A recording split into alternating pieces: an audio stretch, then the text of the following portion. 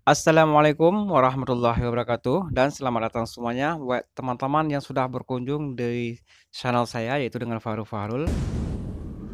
Uh, hari ini saya ingin memberikan sedikit tips ataupun trik buat teman-teman yang masih pemula ya. Tentunya kalau kalian yang sudah senior tidak lagi melihat video ini ya. Uh, jadi buat teman-teman yang pemula yang sudah menanam bunga keladi ataupun buat teman-teman yang sudah menanam aglonema ya. Uh, jadi selain dari pemupukan uh, media tanam dan pembasmian hama, ada kalanya itu kita harus melakukan hal yang seperti ini. Nah, jadi kalau kita lihat bunga aglonema itu sudah mengeluarkan bunga seperti ini, maka bunganya harus kita potong dan kita buang. Nah, seperti ini.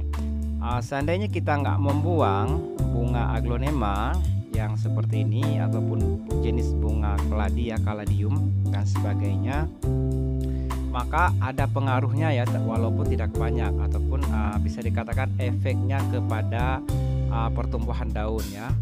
Uh, jadi katakanlah uh, daunnya selebar ini yang saya pegang ini. Jadi kalau uh, bunganya kita nggak buang maka uh, pertumbuhan daunnya ini agak lambat ya ataupun agak mengecil dari yang normal uh, dari yang seharusnya ya.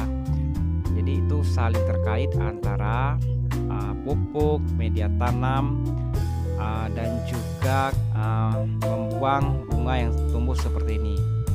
Jadi semuanya itu saling terkait ya. Hal ini harus kita buang uh, macam mana seandainya saya tidak membuang bunganya ini? Jadi tidak apa-apa. Cuman ini ikut membantu ataupun merangsang pertumbuhan daun ya jika bunganya sudah tidak ada. Nah buat teman-teman yang tangannya sensitif jadi jangan dipegang seperti ini ya. Mungkin tangan teman-teman semuanya itu tangannya halus mulus ya kalau saya ya nggak apa-apa saya pegang aja getah-getahnya itu nggak apa-apa karena uh, kulit tangan kita yang petani apalagi yang tinggal di kampung seperti saya ini jadi hampir nggak ada beda ya antara tangan kiri tangan kanan juga telapak kaki itu hampir sama kasarnya. Jadi beda dengan kalian-kalian itu yang tinggal di kota ya. Uh, kulit tangan kalian itu biasanya pegang pulpen pegang kertas komputer segala macam ya. Kalau kita di kampung ya tahulah sendirilah karena ada sebagian dari bunga aglonema yang kelihatannya cantik itu mempunyai getah yang gatal jika tersentuh dengan kulit ya. Apalagi kulit kita itu sensitif uh, dan alergi terhadap getah aglonema ini. Dan yang terakhir adalah uh, jangan lupa silahkan share buat teman-teman kalian yang lain jika dirasa ada manfaatnya dari video ini